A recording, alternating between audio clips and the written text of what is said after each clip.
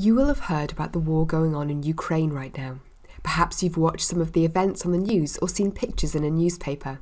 It can be a bit worrying when we see soldiers fighting, but the best way to understand what's going on is to learn more about why this war has happened and then ask lots of questions. This war in Ukraine began a few weeks ago when Vladimir Putin, who is the president of Russia, decided to invade Ukraine. Putin said that he wanted to help the Ukrainian people and bring them closer to Russia because he believes Ukraine is a part of Russia. Ukraine is a separate country from Russia, although around 30 years ago it was part of Russia when Russia was known as the Soviet Union.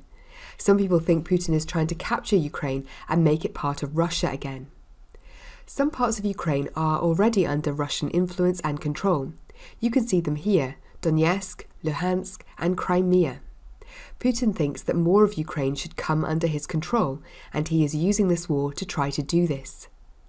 Many people in Ukraine do not want to become closer to Russia and have become soldiers to defend their country against the Russian invasion. The president of Ukraine, Volodymyr Zelensky, is also fighting alongside his soldiers and the people that have volunteered to fight against the Russian troops. Some people in Ukraine want to become closer to other countries rather than Russia and are looking to the USA and countries in Europe to help them. It's unlikely these countries will send in their own soldiers to fight alongside the Ukrainian troops, but they are helping in other ways by sending medicines and by offering Ukrainian people a safe place to stay if they are trying to escape the war in Ukraine. Perhaps you've seen people boxing up supplies to send to the people of Ukraine who have been caught up in this war. Many have lost their homes, and schools, shops, and hospitals have been destroyed.